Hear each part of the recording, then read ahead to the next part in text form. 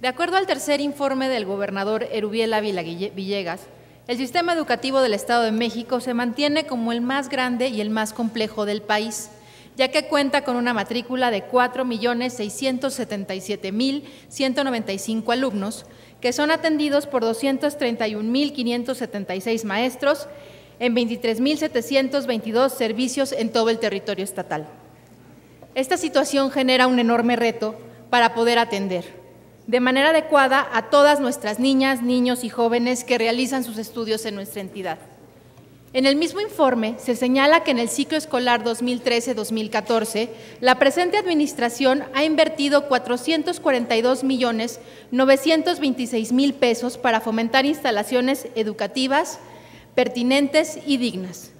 A pesar de que la asignación de recursos, que comparada con el año anterior creció en un 7.09% del presupuesto asignado a la educación, cultura y bienestar social, hemos sido testigos de las condiciones lamentables en que operan muchas de las escuelas en nuestro Estado,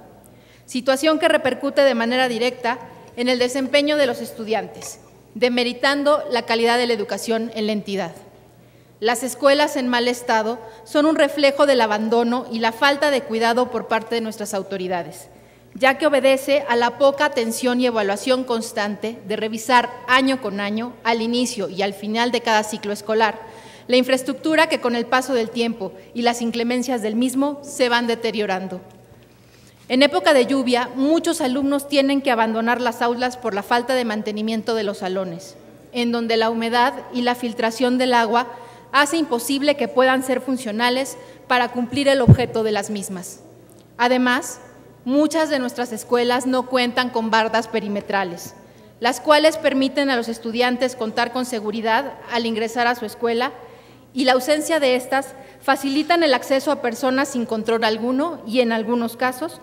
ellos cometen ilícitos como es la venta de drogas o cualquier estupefaciente que daña la integridad de los estudiantes. Lo anterior muestra la deficiencia de las autoridades competentes en desarrollar políticas públicas que garanticen que los estudiantes cuenten con instalaciones adecuadas y con los servicios básicos para poder tener un mejor desempeño. Compañeras y compañeros legisladores, si bien en la reciente comparecencia del secretario de, Educación, el maestro Raimundo Edgar Martínez Carvajal, ante esta legislatura, este se comprometió a atender de manera inmediata el estado en el que se encuentran algunos de los planteles educativos, aún hace falta conocer el estado real que guardan todas las escuelas, además de generar políticas públicas que ayuden a mejorar la calidad de las mismas. Por todo lo mencionado, es que se propone exhortar al Ejecutivo del Estado, a través de la Secretaría de Educación, a que se realice una inspección a los planteles educativos a su cargo y que dé parte esta soberanía de los resultados de la misma. Además, a que se considere que los recursos necesarios para mejorar la infraestructura y equipamiento de las mismas. El poder contar con espacios educativos adecuados y limpios, con todos los servicios y el equipamiento adecuado, permitirá que los alumnos puedan tener un mejor rendimiento y con ello detonar una educación de calidad que tanto necesita nuestro Estado.